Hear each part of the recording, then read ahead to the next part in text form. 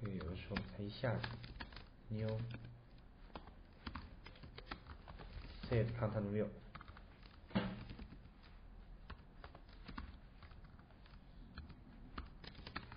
OK，然后在这里我们去定义一个 bitmap bitmap drawable 这样一个对象，我们给它 new 一个 bitmap label。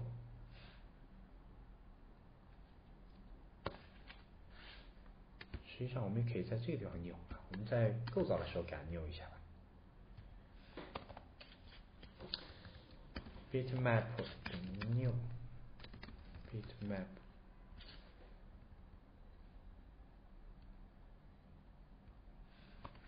好，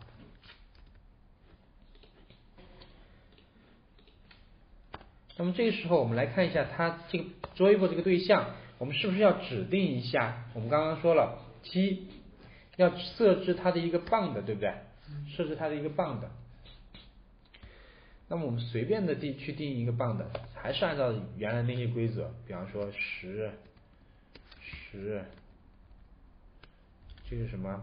嗯，一百三十五，随便，一百六。当然，你在这里其实也可以用 get，我们的 drawable 其实有很多的 get 方法，包括能够得到什么呢？得到它的一个高宽高啊，还有可以得到它的一个画笔呀，就还可以得到它的画笔，你还可以去给它设置一下它的这个画笔是个什么样子。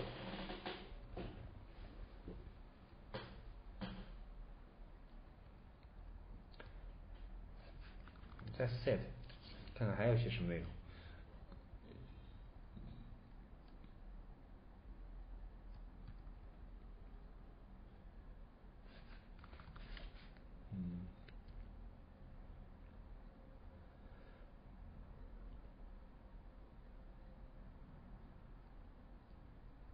，OK，好，没。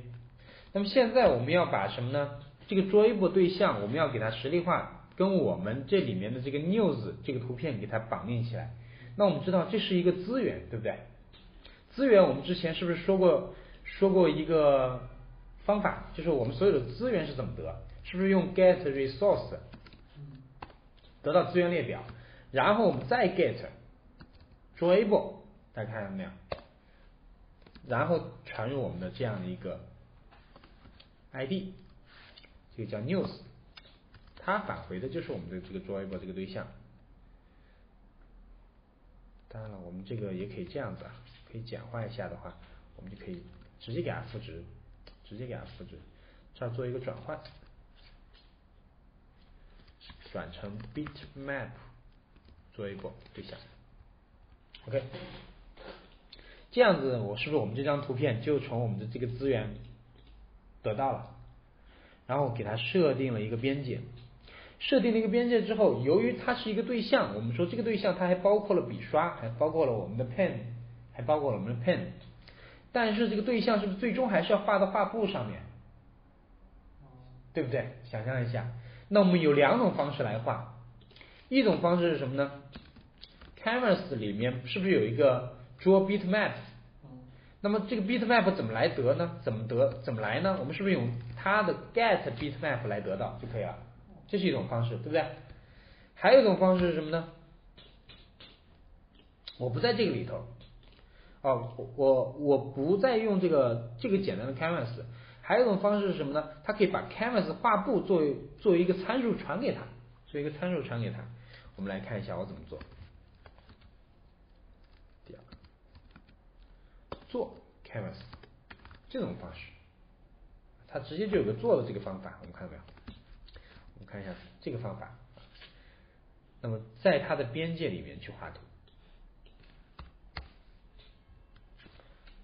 OK，这样子我们的这个 view 就给它定义好了。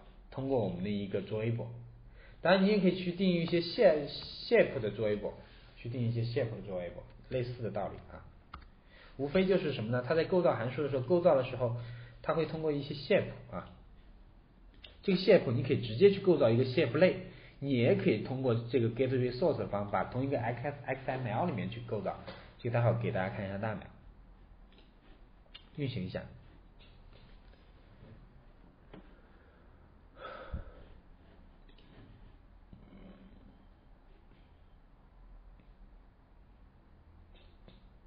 大家看，是不是我就把它给画出来了？嗯，还蛮漂亮的，对吧？那么这样子，我们的一个图片的呈现就非常简单了。那么这种方式是不是也可以让我们到时候我们在做界面的时候，动态的去切换我们的一些图片？想大家想象一下啊。那么 shape，如果我们要画一些跟 shape 相关的，怎么去做呢？比方说，我这里也写的有现成的，嗯。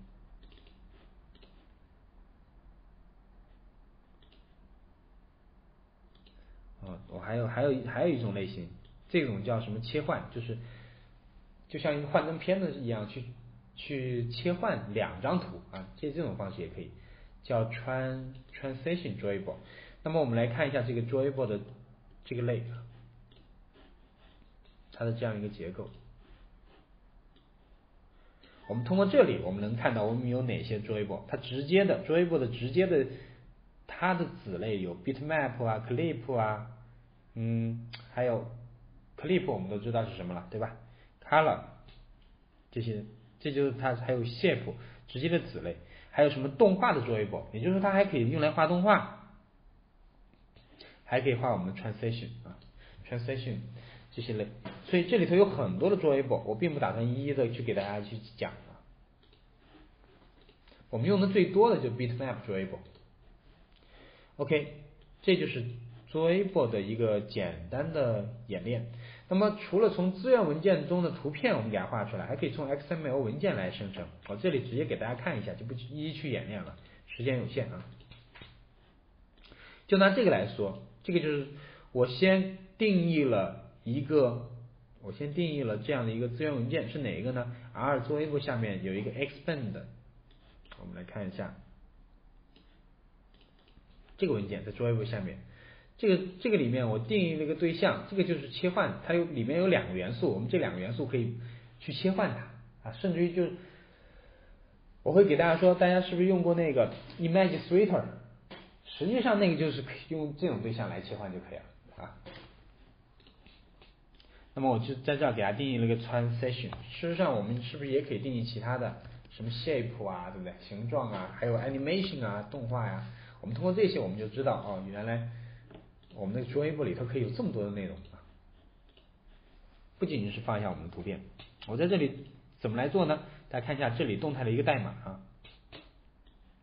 ，Line Layout，这是我们的一个 Root View 啊，这是我们的 Root View，Image 就是它下面我放了一个空 Image 图片图片空间，然后呢，我得到这个 Drawable Transition 这样的一个 Drawable，从我们的资源类里面。给它设置几个属性，设置几个属性，然后把这个图片给它添加到我们的 line layout 上面，给它添加到我们的 line layout。那么这个这个 drawable 它是怎么画出来的？它是怎么画的？这个就跟我们刚刚不一样了。刚刚我们是不是用一个用一个 view 直接给它去画到一个 view 上面的，对不对？现在我们用的是什么非自定义的 view 了？非自定义的 view，也就是说，我们把 XML 里头配的一个作为 Weibo 元素，直接给它画到我们这样的一个标准的 view 上面，啊，就这样的一种道理。最后我怎么用它呢？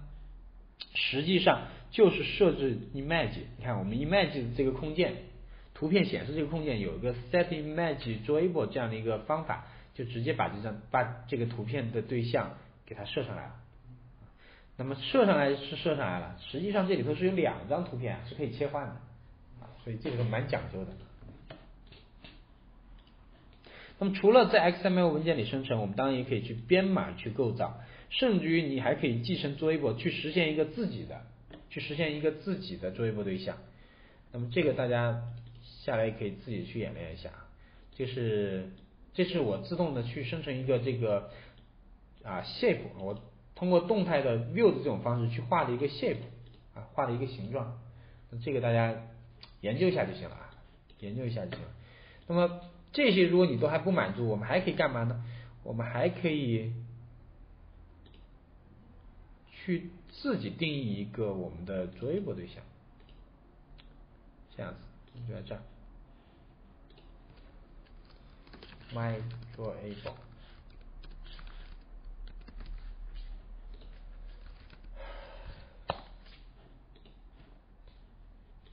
你看这里头有一些重载方法，做呀什么的啊，就大家自己来研究一下就对了。所以 drawable 的话，其实并不是一个非常复杂的一个东西。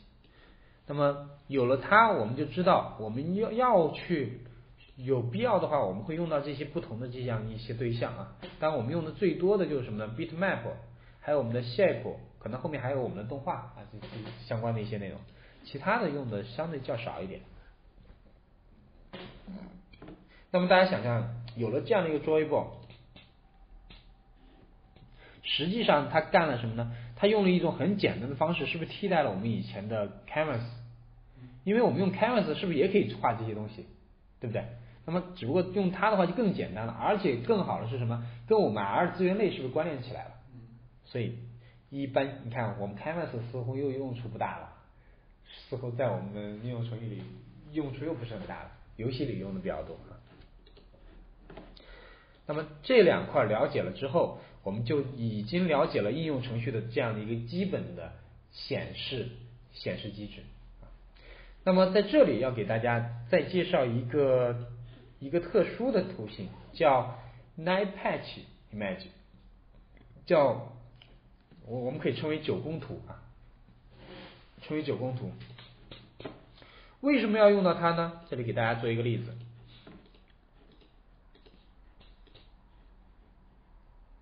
嗯，我们在这儿有一个 main 吧，这儿有个 main，这个 main 上面我们放一个 button，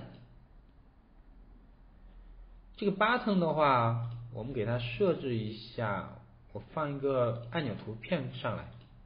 比方这个，改一下，改一下它的扩展名，用个截图工具啊，这样，了。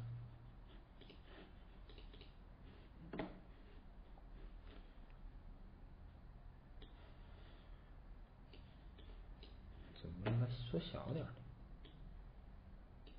只能放大不能缩小啊？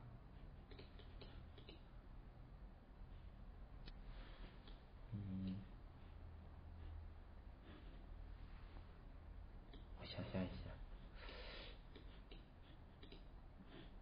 大点就大点吧，先用着。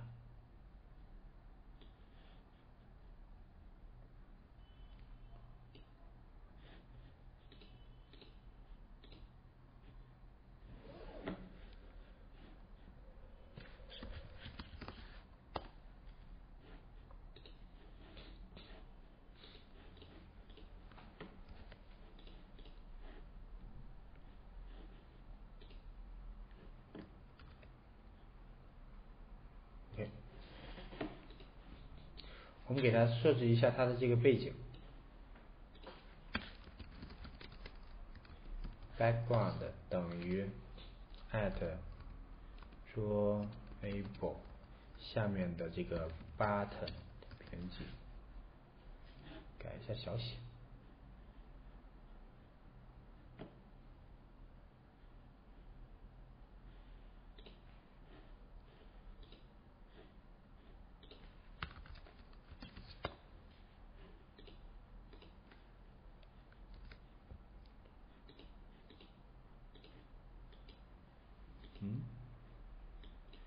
小写它反而还不行哦。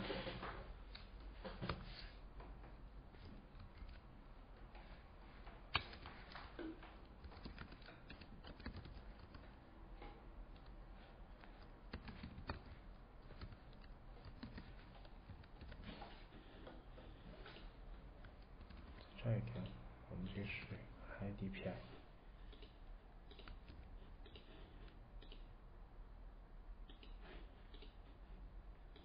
是找不到，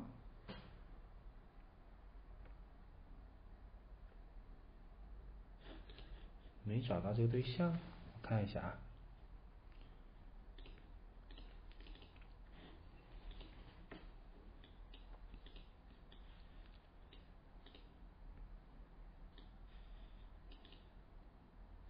换个名字呢？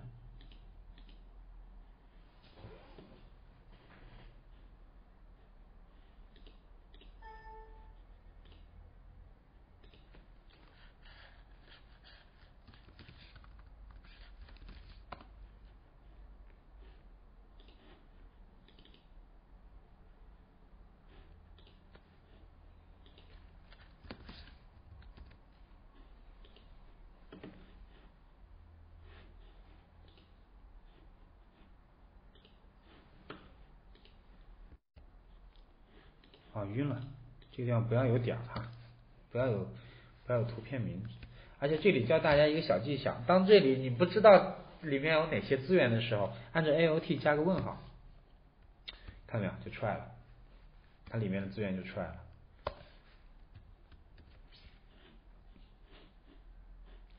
OK，刚才我莫名其妙的加了个扩展名哈，好，那么。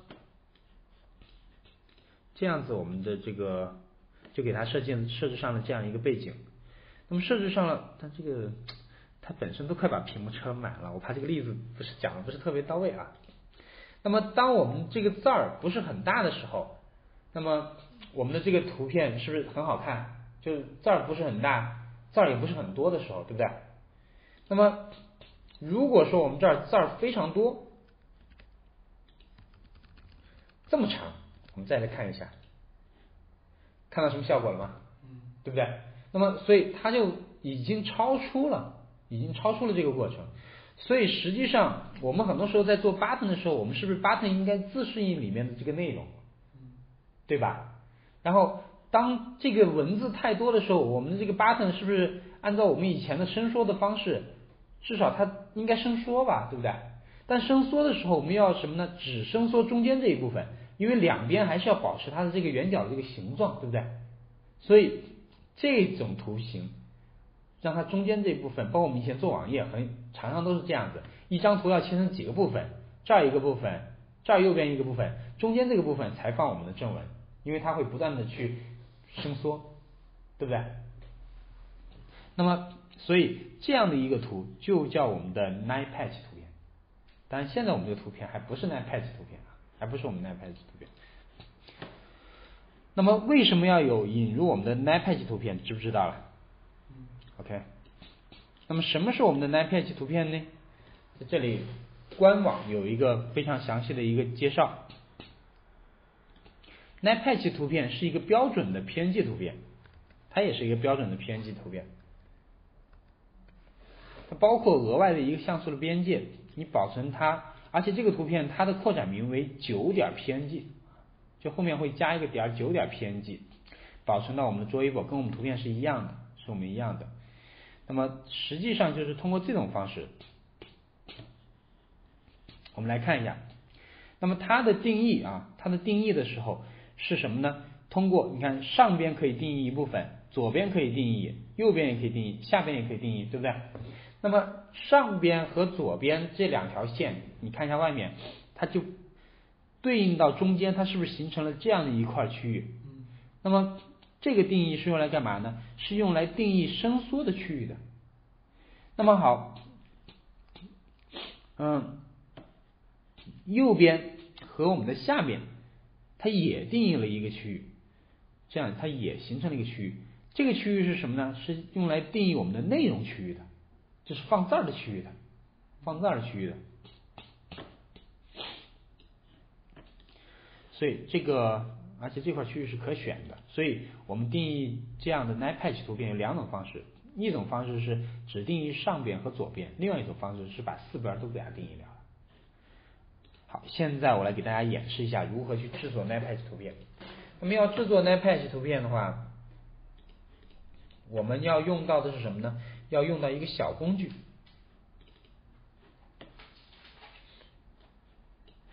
关于 n i p a t c h 图片的官方介绍，大家下来可以自己去研究一下啊，在这个地方，在我们的